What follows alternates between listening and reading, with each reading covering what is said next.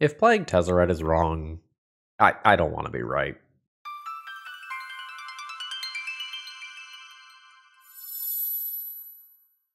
Hello folks, Phil Gallagher aka Thraben U here for another Legacy video, and today Craig has asked me to play Legacy Tezzerator. So, Tezzeret Agent of Bolas came out in Mirrodin Besieged, like beginning of 2011 or something like that, and was quickly adopted into these sort of fringe artifact prison decks, at the time focusing around Ensnaring Bridge, Chalice of the Void, and those sorts of prison cards. Tezzeret offered a lot for one card. It offered card advantage in its plus one, it offered relevant protection and large bodies for the minus one, and in the case of you having Ensnaring Bridge and being able to sit there and bide your time, the ultimate was a potential game winning ability, or at the very least, a game stabilizing ability, and it can happen as soon as the next turn. And Tezzeret saw a respectable amount of legacy play. I'm never really going to claim that it was one of the best decks at the time or anything like that, but it was the sort of thing that you'd be a little bit excited when you saw it on SCG coverage one week or something of that general nature. So, the general nature of artifact based decks have shifted greatly in Legacy due to air quotes recent printings, but it's really been the last five years or so, where cards like Emry, Sai, Kappa Cannoneer have kind of funneled you into a different direction for artifact decks. And I want to start this portion of the video by taking a look at what Craig originally submitted. So, this is Craig's original submission, which I think has a bit of an identity crisis, which I'm going to try to fix. So, issues that I have with the originally submitted deck list, I think starts here. Ensoul Artifact, at its core, belongs in an aggro deck. This is the sort of thing that you want to supplement uh, early aggressive creatures, uh, maybe Patchwork, Automaton as a good example of that. It's very cute with indestructible things, but Legacy is a Swords to Plowshares leyline binding format where an indestructible creature is not necessarily unstoppable in this format. And we also live in the Orcish Bowmaster's world where your opponent can get two chump blocks for one mana. So this is a little bit rough. And this is supposed to conceptually power up cards like Vault Scourge, but Vault Scourge is best in aggressive decks that have cranial plating which this deck doesn't have. So this deck was trying to be this four mana Planeswalker control deck list while also trying to commit some number of cards to this early aggressive game plan, but also having enough artifacts endgame that we can have all of these draw twos. And I think this is a good example of spreading yourself too thin, this deck is trying to have its cake and eat it too. You'll notice that this deck has 10 true 4 drops, and Thought Monitor, even with a reduced cost, is still probably in this general range. So let's say that this is ballpark like 14 4 drops. We don't have that much acceleration. Like, we have the Ancient Tombs, we don't have City of Traders, we don't have Lotus Petals, we don't have Emry to recur Lotus Petal. I think this deck had kind of a confused identity and was trying to do too much. In addition, I think some of these cards just weren't legacy power level. Like the Scrap Heap Scrounger is cute if you can do some uh, like sacrifice, bring it back stuff. Like, okay, you can turn it into a base 5 5. But I think like the Scroungers, the Vault scourge, the Ensoul artifacts, and the Tezzeret, the Schemers, all kind of end up being below legacy power level. While Karn the Great Creator is only two cards in this deck, but sets up for a nine card sideboard wish board. And I think ultimately if I played this deck as submitted, I, I think I would just get absolutely pounded. And so I spent the last half an hour or so researching, well, what peop- what are people doing in Tezzerator decks? And there aren't a lot of Tezzerator decks out there, maybe for good reason. But I did find some neat tech.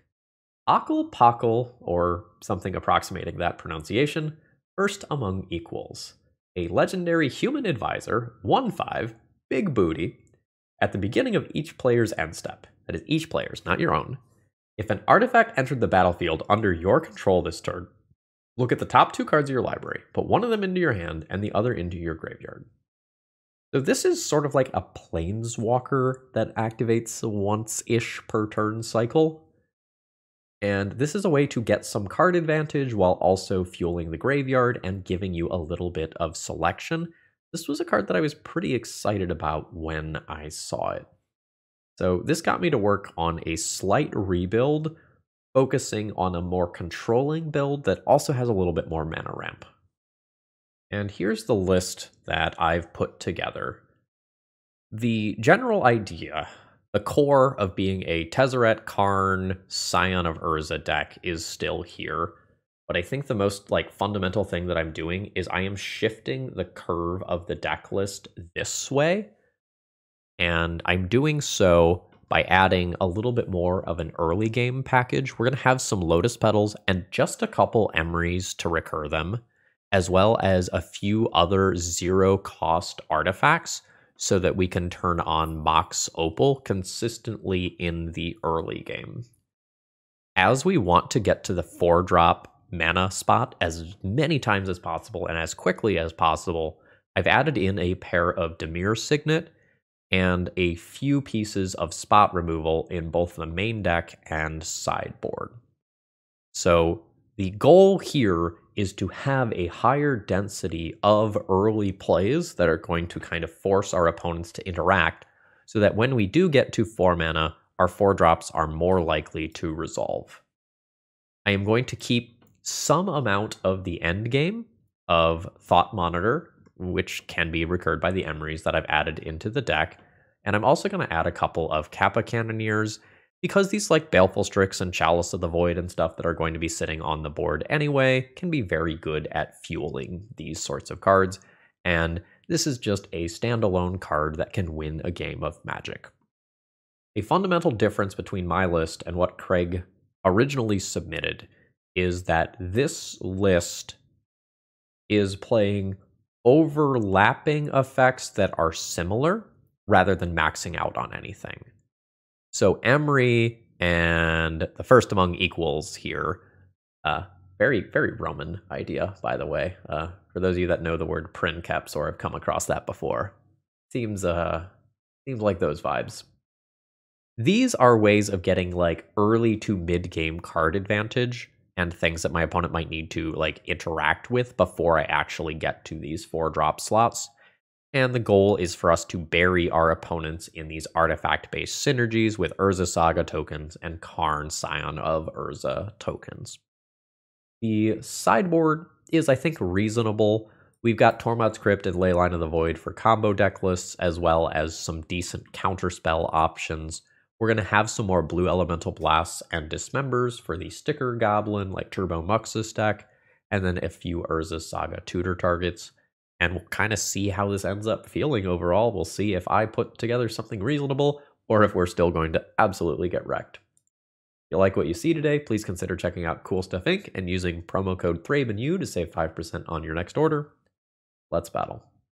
Hey, Phil from the future here. The best round of this league is easily round 5 and features this card popping off really hard. If you have time for one round, that's the one.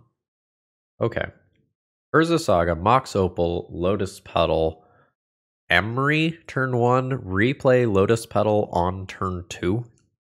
I can activate an Urza Saga or develop my mana. This is a little awkward. It can be improved a lot by another land or a zero cost artifact, so I think I'm going to go ahead and keep this one despite the awkwardness. Woohoo! Don't Blood Moon me. Oh, hey. Now I don't have to commit to the Urza Saga on turn one. I think I like that. So we'll go ya, ya, ya. Metalcraft is on. Ya. I can sack the Lotus Petal, use it for Signet, and play another Signet. I think that's fine. And I have a lot of mana on turn two. On turn two, I can play Urza's Saga, Karn, and Emry as long as I filter my mana properly. Oh, it's Painter. Um, Goblin Welder's a little weird against my deck. That card's really fucking good. All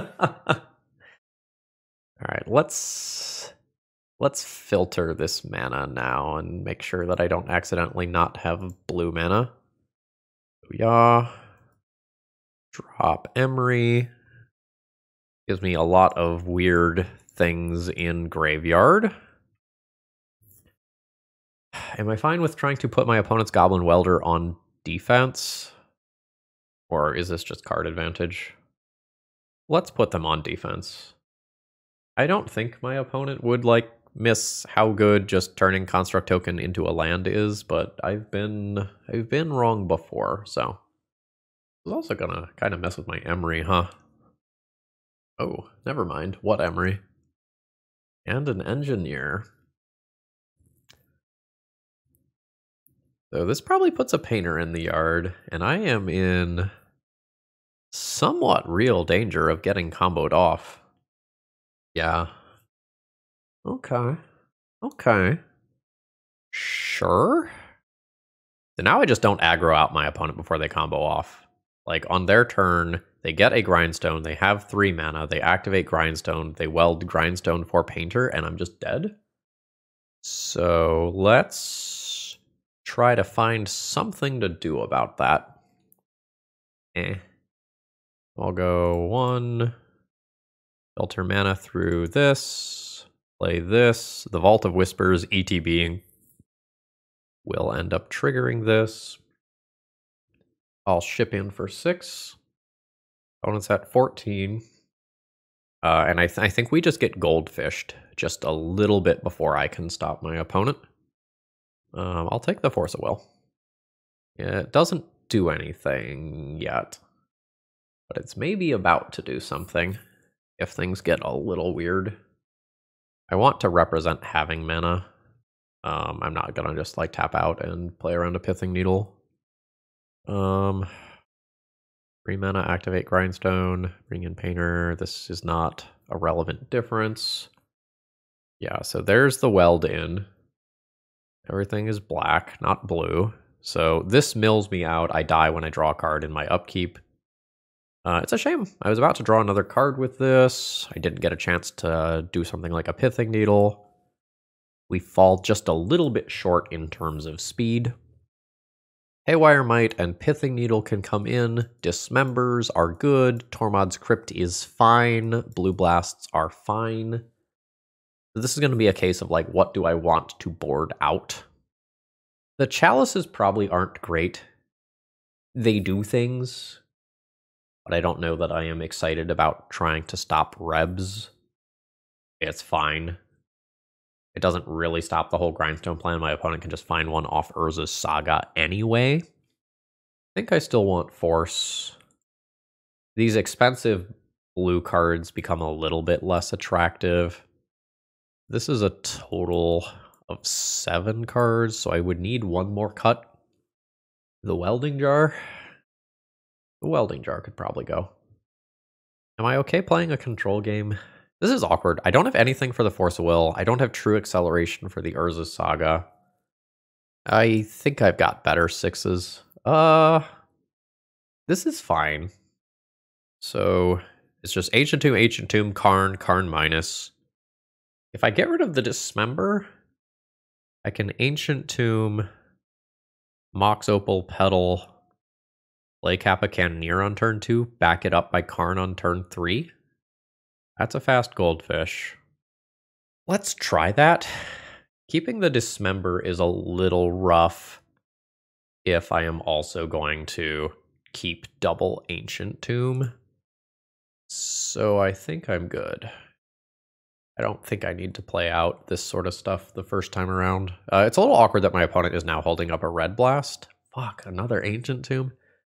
I think since my opponent is holding up red blast here, I don't play Kappa directly into red blast and I'll Karn instead. And it's a little awkward if my opponent lightning bolts the Karn, but my opponent has more blasts than lightning bolts in their deck. I could plus. Oh wait, no, this is only a min. No, it is a minus two.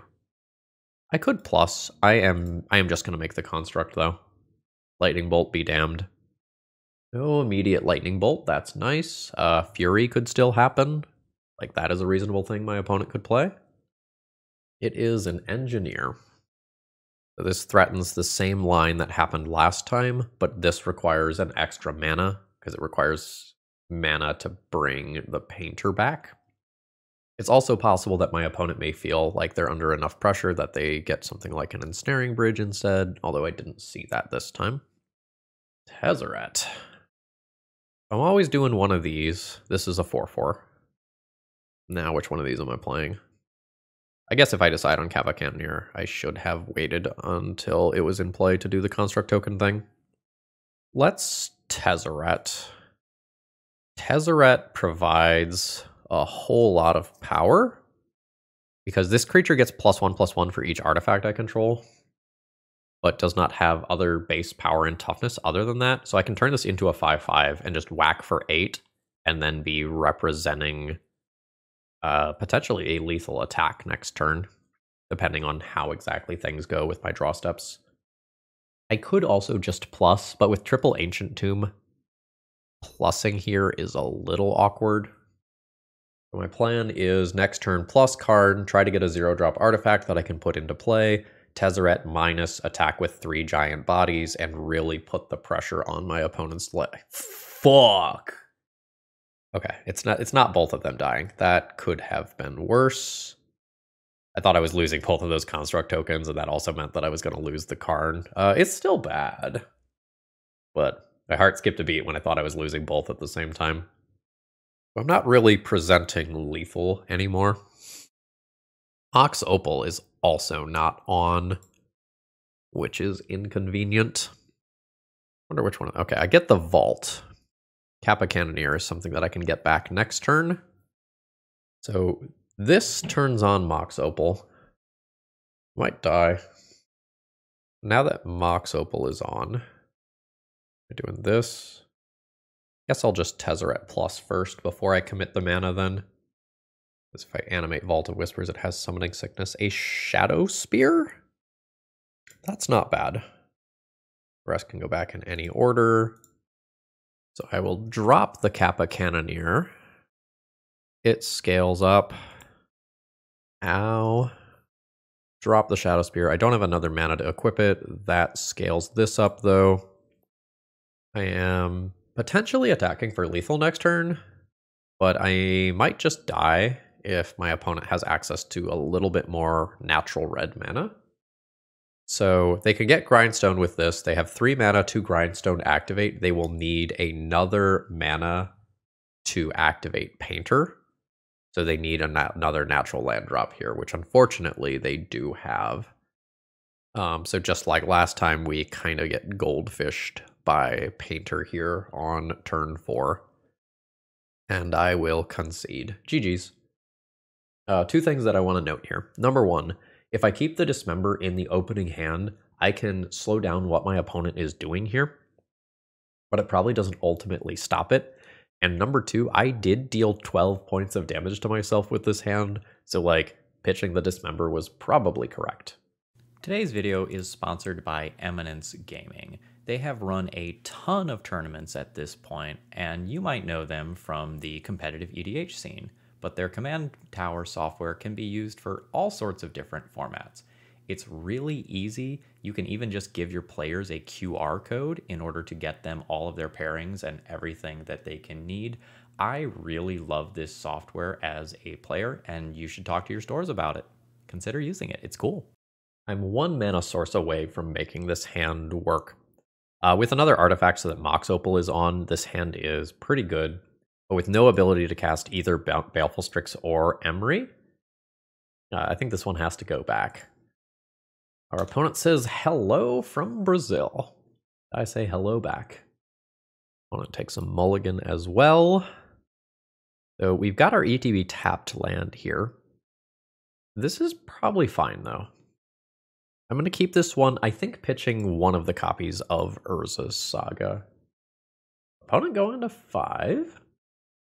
Could be scary. Let's see what we're looking at. Uh, Cavern of Souls. Are we going Goblin? We're going Goblin. Okay. So I know what we're playing against now. Uh, the Mox Opal is not a great draw. Chalice of the Void is not a particularly strong card. I can play a Chalice on zero to turn on Mox Opal on turn one. I don't think I am interested in doing that. It lets me play Emry on turn one. How many zero drops am I shutting off? I'm not traditional 8 cast. It's not actually that many cards. I think this matchup is so fast that this is correct. Okay, cool. I hit a Kappa Cannoneer and a Dimir Signet. That's quite good. So I can continue to develop my mana, and the Kappa Cannoneer provides me something that can be a game ender. In theory, a Chalice of the Void on something like three could be interesting, but, you know, Cavern. Damage report. Oh. That's so reasonable. Remember when, like, Goblin Rabblemaster was something that had everyone, like, shitting their pants? I remember. The Lotus Petal draw is awkward since I chaliced on zero. Is this a cast? No. ETB. Understood. So I'm going to do this. I am just going to play a big booty blocker and accept the fact that I don't maximize Emry value here. So I think my hope is that my opponent kept a weak five card hand and there is not just like looming Muxus. We're we're hoping for mid-range beats over there. I think I can keep up with mid-range beats. My Shadow Spear is in the main deck. So I can conceptually make a large Urza Saga token and go from there. Ow, fuck this guy. Oh, that's so good. So we'll see if my opponent flings before blockers. Okay, they do. So I can block and absorb four points of damage, only taking two. My opponent, Tezzeret. Tezzeret's not the best. I think I sorcery speed activate this and make the token so that I can trigger this at my end step. Uh, one, two, three, four artifacts. Thought Monitor costs three. Cost two after Urza's Saga. Uh, yeah, I'll take Thought Monitor. Um, this math is going to end up being a little bit different due to Broadside potentially impacting combat in a negative way for me. Oh, they won't stop coming. All right, so this is the scary turn. Oh, fuck, it's the high roll. It's all six. It is a Goblin War Chief into a Goblin Ringleader uh, revealing some gas. I imagine that I don't stabilize from here. I'm not going to do the math. I'm going to let my opponent attack and like whatever fucking happens, happens. But the Rabble Master gets huge. My opponent can just like throw something, kill the construct token, and then none of their stuff dies. Yeah. And that's perfectly reasonable. 7, 8, 9, 10, 11, 12, 13, assuming that I want to keep this around, which I think I do.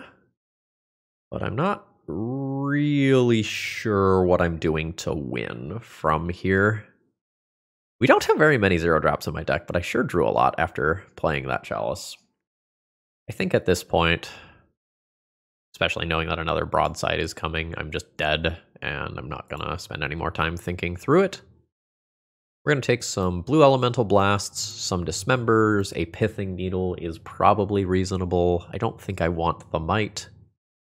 counter anything. It does. Uh, I'll consider this. It's awkward, but I'll consider it. Like more counter spells is not the best versus Cavern of Souls. First thing I'm going to do is take out my four copies of Chalice of the Void. Those are going to become four pieces of interaction. Thought Monitor is relatively slow. Let's get those out for a Pithing Needle and a Rebuke. And then I decide if I want to cut one card for another Metallic Rebuke. Tezzeret can gain life and produce five fives. It's a little slow for the matchup. I could well I could like get rid of welding jar or a metallic rebuke and be okay with that.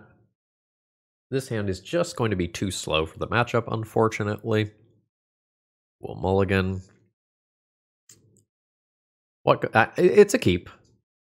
Am I throwing back second Urza Saga or Vault of Whispers? Is kind of the question. Turn one Saga, turn two activate, turn three activate.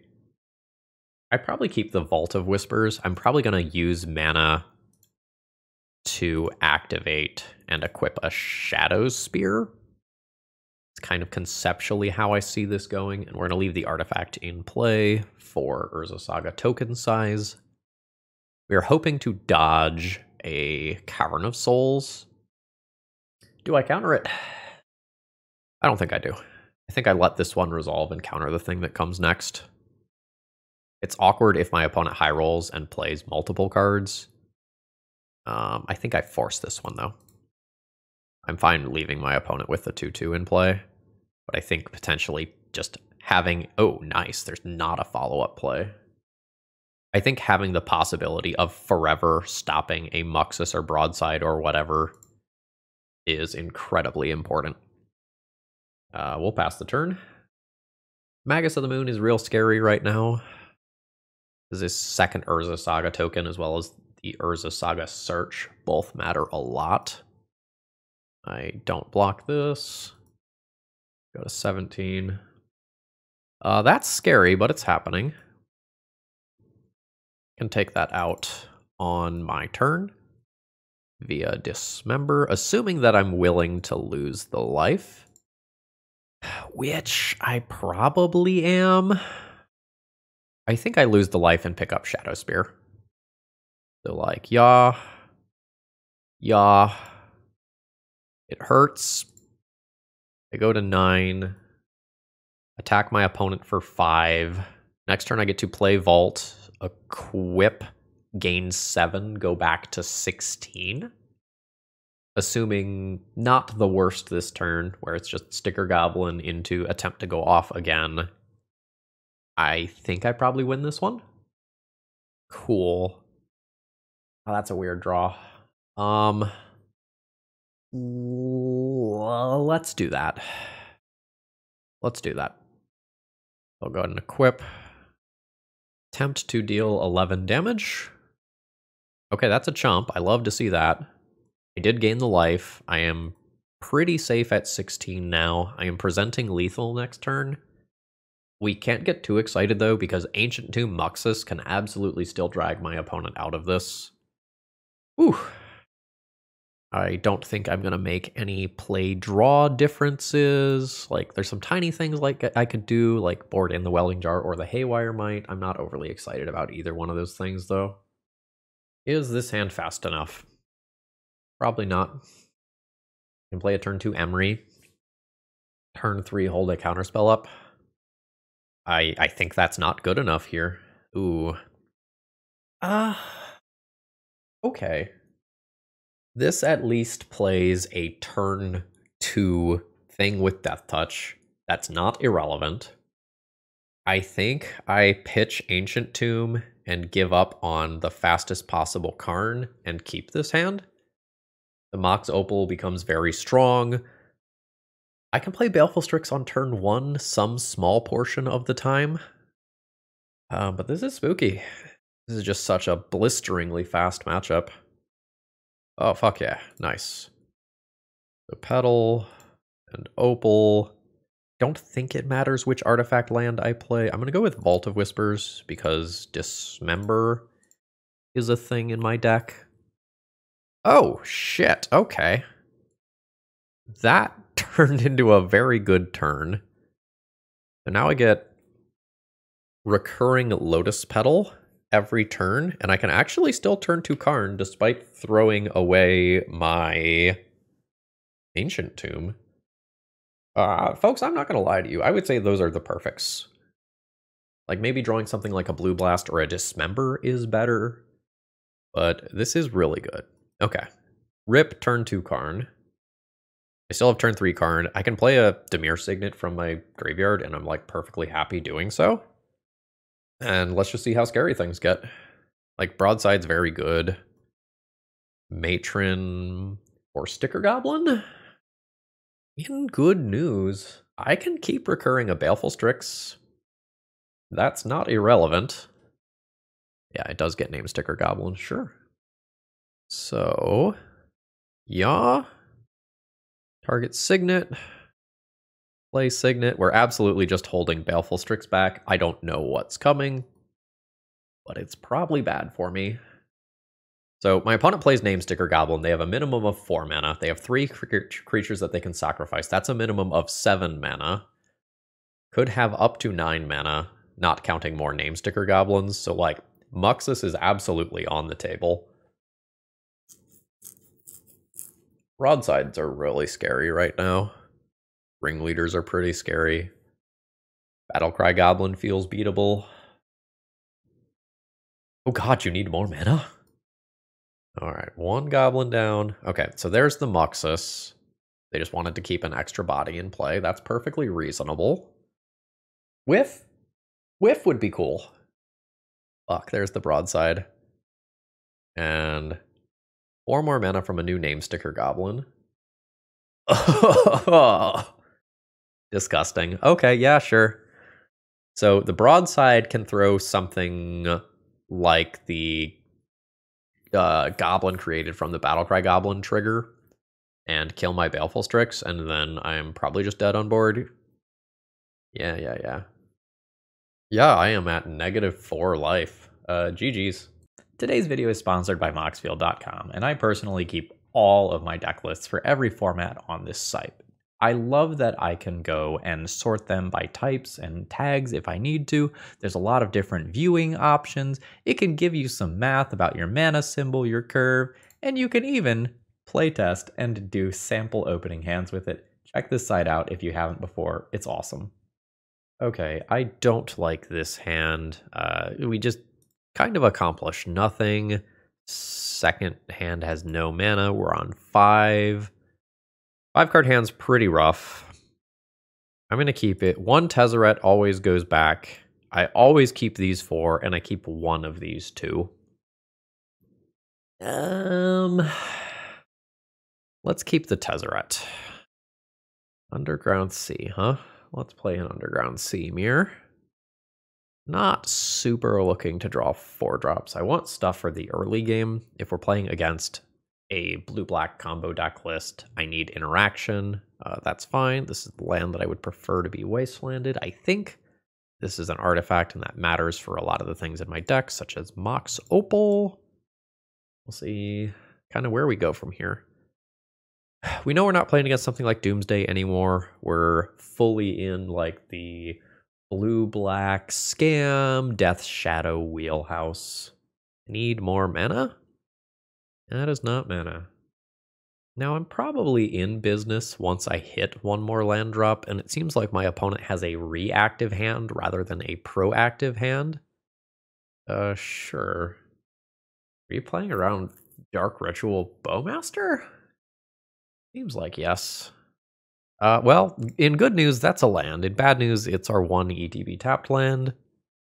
So I don't get to Dimir Signet this turn. Not the end of the world. Baleful Strix probably not going to be at its best in this matchup, um, unless my opponent just preemptively plays out Orcish Bowmasters, uh, which they did do. So that's nice. Strix is maybe live. It's possible that it's not. I'd like to be able to play some of my basic spells around Daze. but this is definitely a hand where, like, Daze is going to get something at some point. So the question is, what is it getting, not when is it getting something? Or rather, if it is getting something. Two damage is no big deal. Uh, we have managed to dodge a follow-up threat, which is great. Okay. I'm going to go ahead and attempt to drop the Signet and Ramp. And I think I will go ahead and offer up the Baleful Strix to either a Bowmasters or a Daze and be perfectly fine with that. Mm, the second Bowmasters is fine. So this pings this immediately, and now I draw my card and I get two pings here, which is not great for me.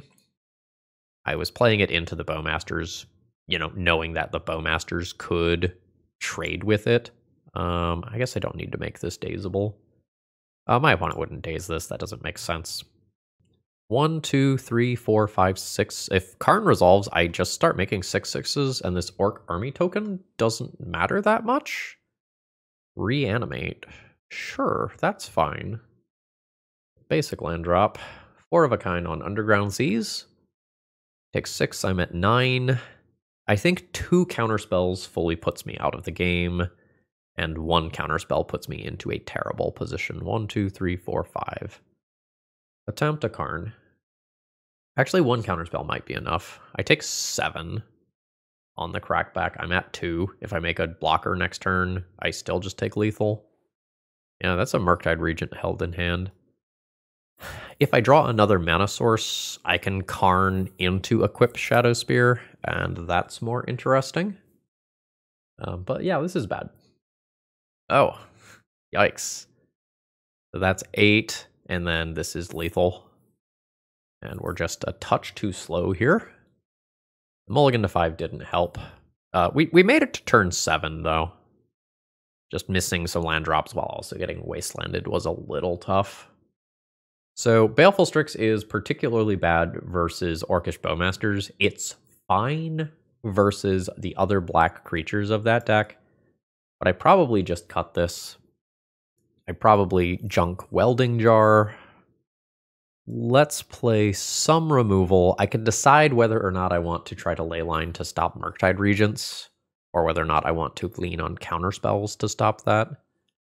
I think I'm going to lean on counterspells and the dismembers to get out of the early game and go from there. These thought monitors, like by the same by similar logic as the Baleful Strix, are not going to be the best. Maybe I add a pithing needle for wasteland and then play an extra fluster. I'm not overly excited about chalice either, but I'm boarding down a lot of things with the words draw a card on it I've got to kind of keep something somewhere. Uh, this is fine, but slightly awkward. Ancient Tomb. Zero drop. Zero drop. Zero drop. Play my one drop. And then attempt Chalice on one. Which seems like it's going to resolve. Based on the speed that the other things have resolved. And now I'll go ahead and just immediately cash this in. And nice, my opponent's drawing a Brainstorm.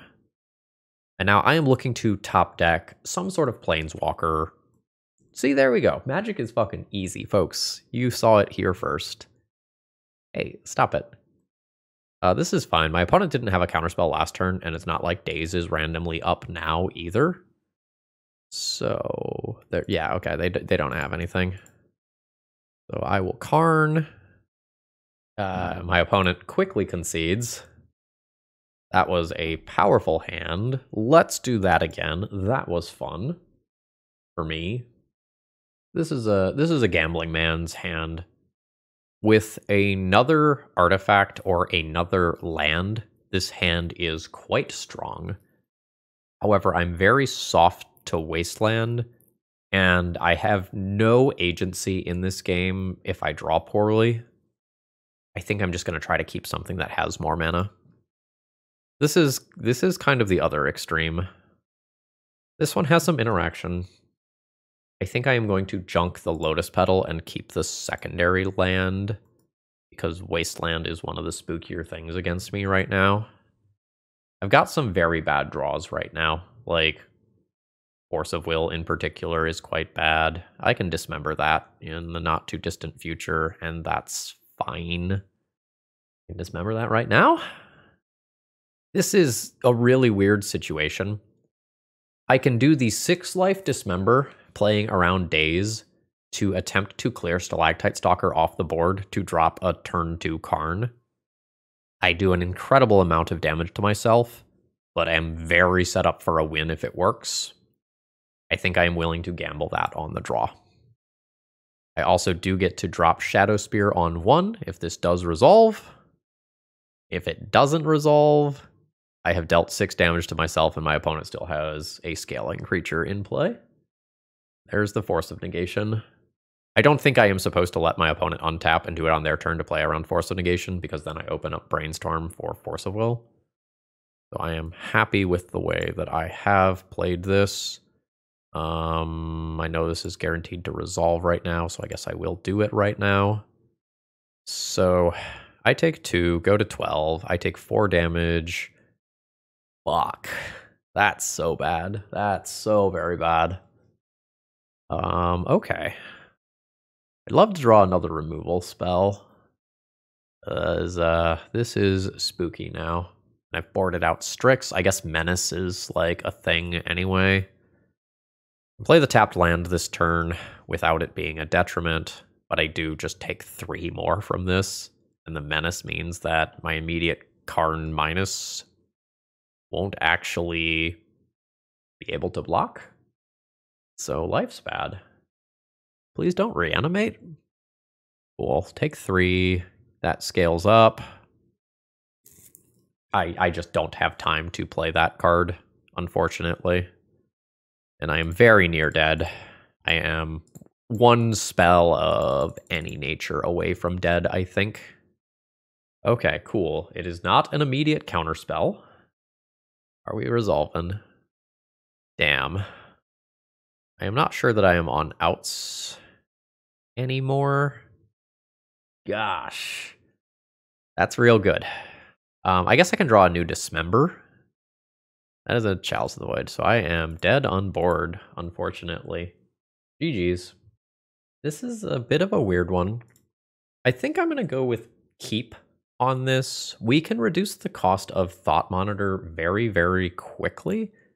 And I have redundant extra mana here is usually a pretty good place to be. I'm gonna throw the Petal into play. There's two Kappa Cannoneers in the deck that kind of punish me for playing that out. Otherwise, there's some things like Chalice of the Void, Thalia, Archon of Emeria that reward me for playing this out in advance. We're either playing against a Doomsday deck or a Death's Shadow deck, and we'll probably find out pretty quickly which one it is. So play this. This costs 4 mana. I can play Tezzeret, turn Lotus Petal into a Deuter, and start bashing. Or I can Thought Monitor. And they do very different things.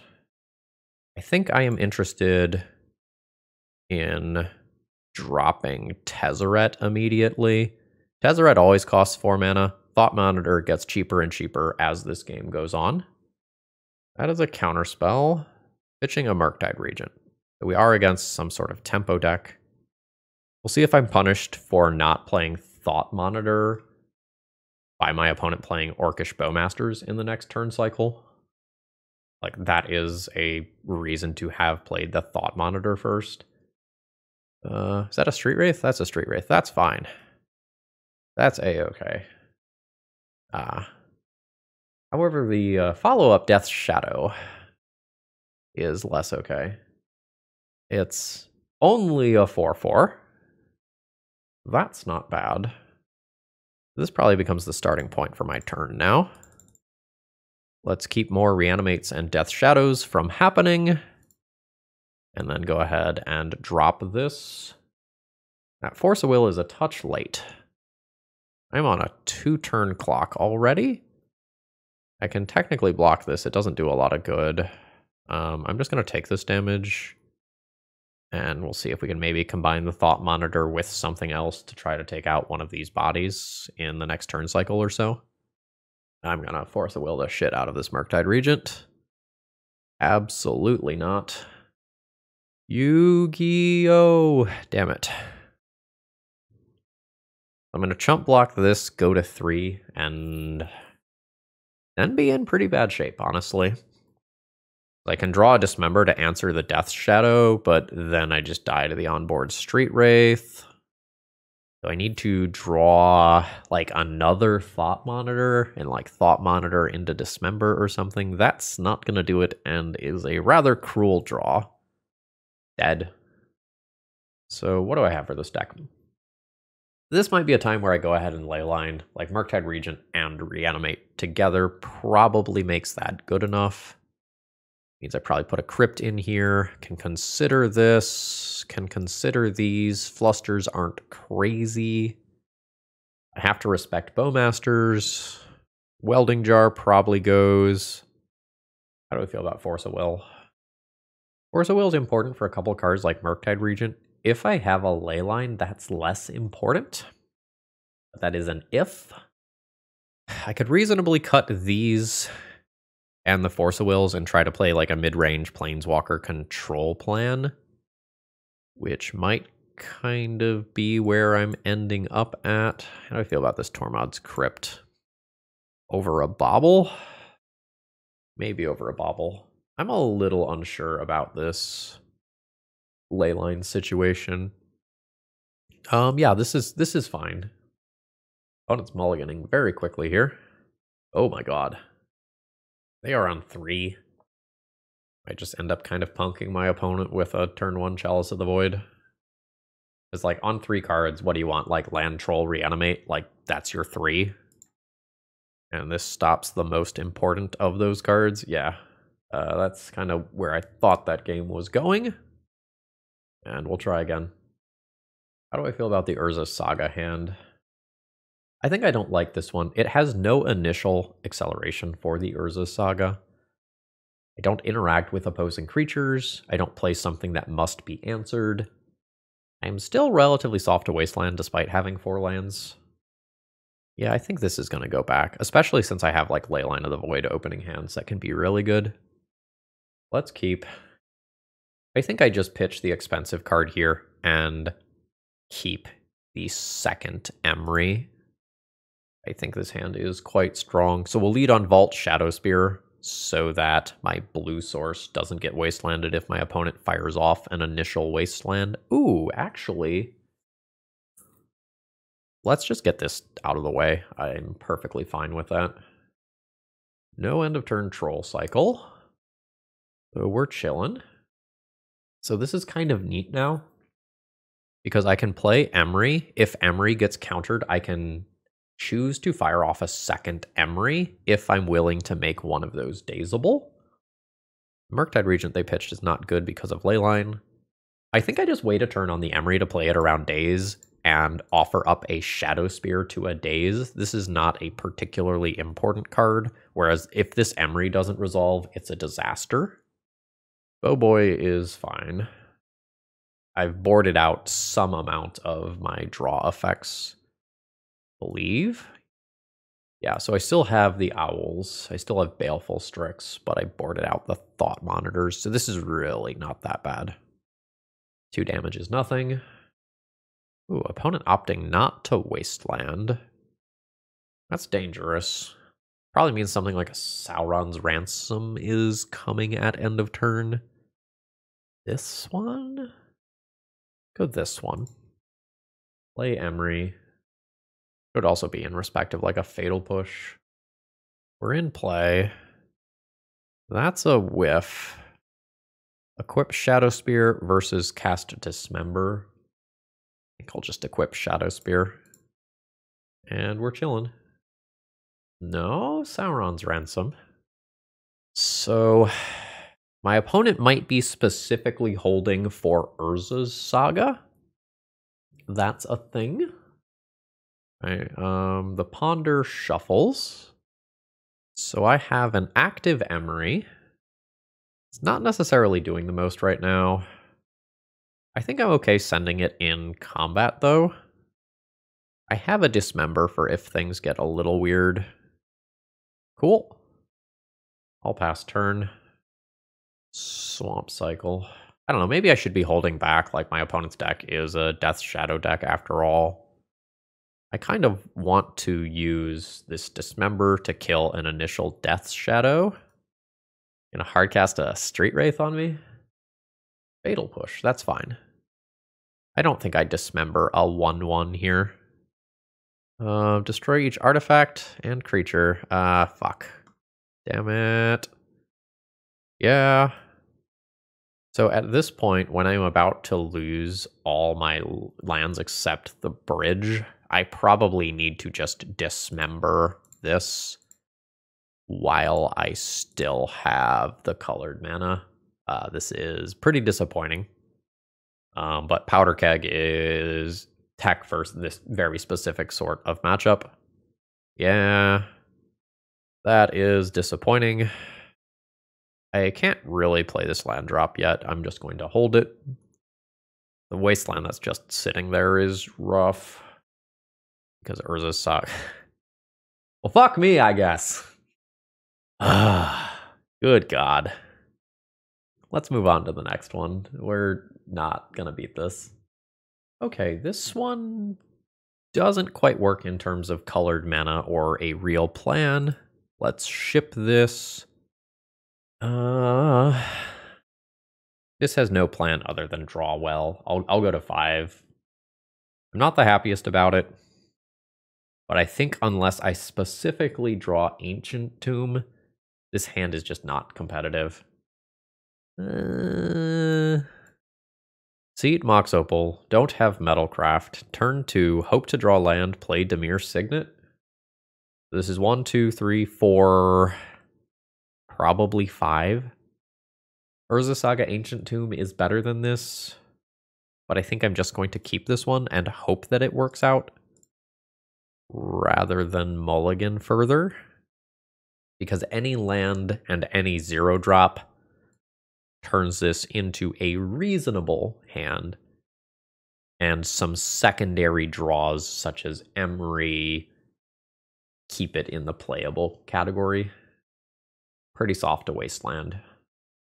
And obviously don't have a lot of interaction. Oh, hopefully that's just like a fair green fetch land and everything is fine. So we're doing this again, huh? We're making my zero drop deck put chalices on zero for Metalcraft. Thanks, I hate it. Oh? It was not a fair green fetch land. Oh? Oh? Sure. This is kind of funny. So my opponent is on the the Rhinos deck with like Murktide Regents, Shardless Agents, all that stuff. So my opponent produces two four fours here. And then doesn't get to Rhino again. This is now on. Baleful Strix can trade with one Rhino. Nice. Emry Recurring Strix is good. Okay, like I have a real plan. Now, my opponent could just like fire ice this Strix out of the way. I take eight, and then I'm immediately in a bad situation again. Assuming that doesn't happen, I could stabilize this game. Are you attacking? No. Okay. I am a-okay with the brakes being pumped. I'd love to draw another land. That's not quite a land. I think I need to develop my mana rather than play the Emry, despite how good the Emry is. I, I, I just think I need to eventually get to this to have something that outsizes the Rhinos, and unfortunately, Dimir Signet is not immediately tappable for mana. In case you're wondering why we play Dimir Signet, we want to be able to convert pure colorless mana into mana for Tezzeret 100% of the time, that's rough. I played out the Signet, so, you know, we're set back. It's not the end of the world. All right, this time they are coming in. I'll trade, and then we're going to hope to put Emry in play. If I can put Emry in play while also doing Dimir Signet, like, that would be cool. Welding Jar. Not exactly amazing, because Chalice. So I'm going to convert the mana here and then play the Emry. I guess I don't need to convert the mana. This is not a Daze matchup. But it also doesn't really matter. Uh, that's two Strix in there. That's pretty good. Okay. Um, life's all right. I'm not going to get excited because things like Minsc and Boo and Murktide Regent can come along later. You know, Baleful Strix can still get Force of Willed. Like, there's plenty of things that can go wrong. Uh, bounce spells like Brazen Borrower and Fire Ice and stuff are like very much a thing. Okay, there's another threat coming. There's the double fetch. Feels like Murktide based on my opponent's patterns. Why? Why is this happening post-combat instead of pre-combat? Are you just going to hurl the Rhino at my Emry? I guess that's fine. Yeah, that's probably fine. Yep. I am unsure that this is better than just doing it pre-combat and just attacking me for more damage. But I think it wins my opponent the game either way. Goodbye, Emry. I don't know that I'm realistically on any draws here. The mulligan was rough. Now we know how good Chalice on Zero is. But again, we don't really want to be chalicing on Zero. Pithing Needle for Minsc and Boo is fine. I can do some like Fluster Metallic Rebuke type stuff, and it's fine. The issue with boarding in something like Leyline for Murktide is that it doesn't impact the Rhinos and the Minsc and Boos and stuff. So I don't know that I'm super into that. Welding Jar is interesting, but I kind of want to decrease the number of zero drops I'm going to play if I am going to intend on playing Chalice on zero. Dismembers are kind of mid. I think I'm going to get rid of the Dismembers. They only deal with half of Rhinos kind of a third if it's a shardless agent. Doesn't always answer Minsc and Boo. Doesn't always answer a lot of their stuff, really. So this can get me Pithing Needle plus a few more counter spells. Flusterstorm doesn't answer Minsc and Boo. Stops the Rhino stuff. Eh. This may be where we're at. No. Lotus Petal, Mox Opal, Play Emry off Underground Sea. Throw back Ancient Tomb. Assume that Emry gets me to something meaningful. I think is fine. Um, I think you can play this hand a couple of different ways, though. Like, I think it's also valid to get rid of the Mox Opal and keep Ancient Tomb. Since Emry can be played off Lotus Petal Underground Sea as well. But I conceptually like having access to Mox Opal in this deck. If my opponent forces here, I do think I have to force back. Yeah, I am kind of all in on the Emry right now. All right. Thanks, I hate it. Uh, let's see how good the Emry hits. Shadow Spear, Lotus Petal, Cannoneer, Strix. I mean, that is four different options. That's about the best that I could hope for. And now we just kind of start to see where it goes. I'd love to draw a chalice or something that allows me to stop the rhinos from coming. Baleful Strix only goes so far in that regard. Saga's cool. Saga's real cool. I can sacrifice the Lotus Petal to put a Baleful Strix into play. I think I'd rather just put Shadow Spear in play this turn and turn on Mox Opal more permanently. Like I, I want this mana to be dedicated towards Urza Saga and Emry can work. Uh, nope, nope, nope. Turn off auto yields. Too late. Um, I can get an equip on Emry there, and it matters for like fire ice purposes. Okay, it is a cycle. All right, did not get immediately punished by fire on Emry. Sure. Make Saga token.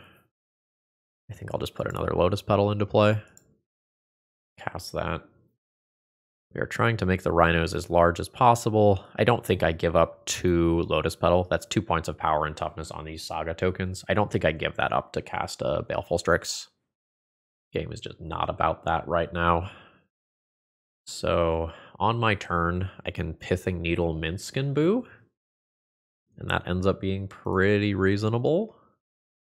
Here comes the first wave of rhinos. Opponent has multiple Force of Vigors in their deck. Not unexpected. Opponent has 10 power in play. I am going to have more than that. I guess let's take a look at this. Anything else spicy? Uh, it's pretty unlikely my opponent draws a Force of Vigor from here. So we Saga. This is base 5-5, about to be 6-6, about to be 7-7, maybe even about to be a little bigger than even just that. So 6-6. Let's shut off Minsc and Boo. I just don't want that card coming down. I can attack and trade with a Rhino. I'm not the most excited about that. So I think what I am going to do is cast a Baleful Strix, take a redraw, and then replay Lotus Petal from my graveyard. And I end up with the same number of artifacts in play, but I end up a card and with a Death Toucher in play. And these construct tokens are very good on the defensive. And then next turn, I will have enough power in play that double blocks on these construct tokens don't make sense anymore. And potentially I'll also be lifelinking. So you remember how I said it was very unlikely my opponent would have Force of Vigor because I had seen three of them in exile, uh, or rather on the bottom of the deck? That's just life sometimes, you know? These are down to five fives. I can redeploy this stuff from my graveyard, so like, this is not the end of the world we were going into this game very much in the control mindset. So this is okay. More rhinos. Sure. You got it. If the rhinos don't have good attacks, this is not the end of the world. If my Emry gets removed, it's, it's a different story. A seat? That's cool. I want a Kappa Cannoneer? Not yet. I'm just going to take the Strix back this turn. The Kappa Cannoneer is how I'm going to win this. Like, I'm going to sit behind construct tokens with Kappa Cannoneer being the thing that attacks every turn. But I think I just wait one more turn cycle on this. See what my redraw is. I have some really good redraws, such as Urza's Saga. I don't think I play Emry. I've still got plenty of good stuff in the graveyard to bring back. And I'll pass turn. That is suspending a Crashing Footfalls. That's totally fine. That does give me an incentive to kind of get the show on the road and not just sit back forever. I have a Chalice of the Void that I can find relatively easily. Shadow Spear starts to make attacks very good very quickly.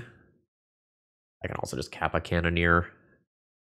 Let's Kappa. And we can improvise with Lotus Petal. I'll tap the Strix here. This effectively enters as a 5-5. And I'll start murdering my opponent with this. I don't think I want to take an attack here.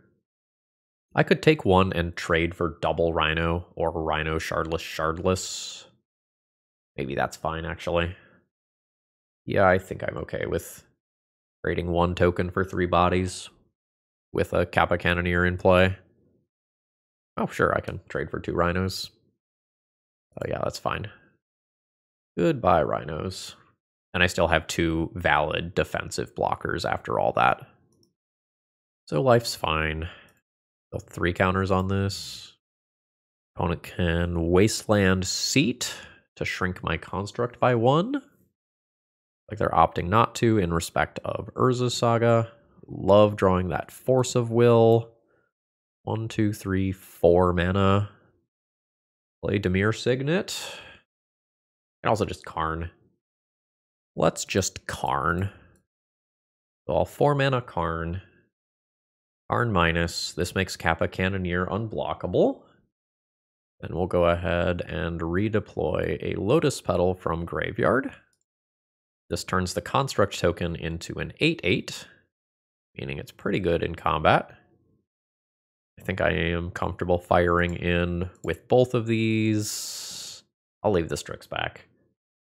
The Strix attack is unlikely to change the clock, whereas the Strix helps um, blocks on Karn through something like a single removal spell. Right. Even talked about that on their turn. I think I'm ultimately okay with this. Like, I'm trading my construct token kind of for the wasteland as well. And I hedged against some sort of single removal spell situation. Two counters on this. All right, the Karn is still safe. We probably start getting into present lethal territory this turn um, without thinking about it very much. This is a 7 7. Play. Or sorry, it's an 8 8. Play this, it's a 9 9. Play Shadow Spear from Yard. That'll be 10 10. So this creature alone is lethal, and we put up a win. We're going to game three now. Again, don't think I want Dismember for Rhinos. I don't think I want Blue Elemental Blast. It's like pretty Minsc and Boo specific. Doesn't really do anything against Violent Outburst. I think this is the configuration I'm on. Seat, Opal, Petal. Um, this is this is going to be a keep, I think. Opponent's also on seven. I have Force of Will for the first set of Rhinos, and this card is pretty solid. It is just going to be a draw a card every turn signal, every turn cycle sort of situation. Let's pay, play both zero drops. I can play Strix while holding up Metallic Rebuke. Or no, I can't. Two artifacts. Okay, yeah, then I, I will just jam. Akal Pakal. I imagine that I force of will to protect this if my opponent forces, and I pitch Metallic Rebuke to keep Strix around. Uh, let's let's fight. Force of Vigor. Well, shit. So I will get to kind of trigger this every turn. I will put the Underground Sea into my hand. Thank you. This is a 1-5 versus Rhinos. That is definitely relevant. Let's see what my opponent can do. Just fetch. That's a little weird. So I'll trigger this with seat and get a card at my end step. I don't think I'm attacking. I think I want to play around like double spirit guide, produce rhinos. I like the four life is very important. I'll take a vault. Like some portion of the time my opponent does not have that here, and I like miss a point of damage a singular point of damage is not what this game is about. This game is about me not dying to rhinos. And everything else is secondary. Alright, here they come. All expected stuff there. My opponent goes past a Force of Vigor. You're a card late, but not unappreciated. Um, small mistake on my end. I should probably play Underground Sea there over Vault of Whis- uh probably play Underground Sea over Vault of Whispers. It's like assuming that the Baleful Strix resolves though, which is like not guaranteed. Chalice or Seat? I think I'll take Chalice. I would like to stop future waves of rhinos. I can stop a wave this turn, but then I want to be able to Chalice to keep them from coming down. And then hopefully I can just kind of ride this to victory. I'll take the uh, obvious blocks here. I do still take a lightning bolt worth of damage this turn, but I take a rhino off the table, which is great. We'll see if the last card is a way to produce rhinos. This is one mana. So let's start by seeing if my chalice resolves. Okay, cool. I need to keep a blue card in hand. I think Emry is significantly better than Strix because Emry just represents Strix and friends from Graveyard. And lots of friends at that. And we'll go ahead and drop the Shadow Spear as well. Uh, this card fucks, folks. Like, I am very impressed by the work this is doing. I don't remember. I think I mulliganed to five, and I just have drawn a card every turn cycle with this. And if we have Urza Saga, like, sometimes we can also get one on our opponent's turn. That's weird. I think I force this because it just represents an immediate card, so it's just trading essentially one of one of my cards for Petty Theft and the Brazen Borrower on the backside. This makes me a little bit worse versus something like a Murktide Regent that comes down in this next turn cycle immediately. But I think this is a very good tempo play. I'll take the Karn. The Emry doesn't really do a lot right now. Like sometimes my opponent draws uh, a Fire Ice and removes this, and then like I wish I had the other Emry, but this is a strong play otherwise. I, I don't care about my opponent drawing Wasteland. I in fact think they're probably not supposed to use that Wasteland. Uh, yeah, sure, that's fine. You can attack me for two right now. I think you also make this attack before playing the Wasteland. Then there's a little more fear in it instead of me having perfect information. Uh, sure. I think you want to be able to play a top deck Minsc Boo. Uh, so that is not currently playable. Let's Emry. I think I'll take Strix. I think Strix and Dimir Signet are both reasonable. Draw my card. Hit another land. The land's actually really good. That means Karn can happen next turn. And to stop the chip attacks, I can consider paying two life to just equip this here. Which I think I'll do. I think that's worth it. Uh, no attacks necessary, and we're just going to kind of keep doing stuff. I don't think I need Tezzeret. I think I'm just going to take the other land. Like, the Tezzeret is a perfectly meaningful and reasonable card, but with Karn in hand and other good stuff going on here, I think that's just not what the game is about right now. Uh, yep, this is fine. So I can now Pithing Needle Minsc and Boo so that that's not a live top deck for my opponent. All right. Am I ready to Kappa Cannoneer? I don't think so. Let's shut off Minsc and Boo as a top deck. We're going to name Minsc and Boo. Play seat. Uh, we're fine taking this extra damage to do the Karnstruct. The Karnstruct is absolutely massive. And at this point, Minsc and Boo is off. Um, still not going to attack. I don't think that makes sense. Minsc and Boo is off. Murktide Regent isn't particularly effective. Uh, rhinos are off. Uh, we are in a just massively favored position. I can start gaining life next turn. Force of Vigor is one of the better things that my opponent could have that could spin the game a bit. All right. Yeah. I think I'm just going to go ahead and move this to this construct immediately. And I think I take an attack at that point and see what happens and then plan the rest of the turn accordingly. I can create a larger attack than just this, but doing so might put me in a position where I lose two constructs to something like a Force of Vigor rather than just one. So Chalice on zero is gone. This construct is gone. Uh, this is fine. So I will now Karn minus again. Chalice on zero from graveyard. One, two. Yeah. Uh, target that. Cast it in a second. I want a Lotus Petal first. Then redeploy Chalice on zero. Then Kappa Cannoneer, one, two, three, four, five. Improvise, six.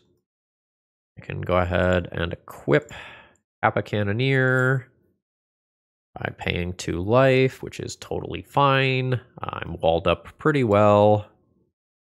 Take a land, uh, and you know this is just a matter of time. I've got kind of everything covered. Yeah, uh, I imagine that I am now presenting lethal damage in this turn cycle. I'm not going to think about it too hard. I'm just going to click on cards. So, Vault, grow Kappa by one. Make construct, grow Kappa by one. Make Karn, grow Kappa by one. With this ability, the 12 12, A2 life. Equip this here. Uh, Emry, target, I don't know, a thought monitor. Thought monitor for one mana. Draw two cards, scale up Kappa Cannoneer. Can't play that out. This has to be blocked or it's lethal. At this point, I'm fine stringing, sw swinging Strix in as well. Opponent takes their obligatory blocks as to not die. And this still puts my opponent at lethal. Uh, that was a very impressive last round. So how do we feel about this one at the end of the day? We went 1-4? Honestly? Honestly, I don't feel that bad about the deck. Maybe I should have built around this card? Like, maybe this is the new Tezzerator?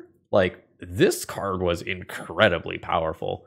Just every turn, look at two, draw one of them. Like, this plus Emry is a very real engine that I might be looking at for real 8 cast. Now, this was the first draft of a, a deck. You know, this was me trying to rebuild Tezzeret, Tezzerator, rather. Um, Craig, I hope you're happy with this league. I, I certainly am. Some cards underperformed in this league. I cut Welding Jar just about every round. Didn't really end up recurring Bobble. I still maybe need zero drop artifacts. Like, they do a lot for the deck, Maybe I don't need two Dimir Signets. Maybe I go down on Thought Monitors, given that we're in a Bowmaster world. But I like this like two thing that I've got going on with this deck, where I've got like two Akal Pakals, two Tezzerets, two Thought Monitors, two Kappa Cannoneers that just give my opponent a lot of different things to think about. Um, playing a few more leagues will probably refine the deck. Uh, land count, I'm not sure if you need the full 19 uh, especially if you end up doing something like trimming Thought Monitor for some more early game cards of some kind. I generally speaking really liked the stuff that I had access to. This is the rare I did poorly with the deck, but I'm going to give it a thumbs up. I think something that comes from playing this deck list a few more times probably results in a really powerful FNM or local level event deck. So, thumbs up here despite the fact that I just got bodied. And if you need to buy, the first among equals. Check out Cool Stuff Inc. and use promo code ThrabenU to save a little bit on your next order. I hope you all have a great rest of the day. See ya!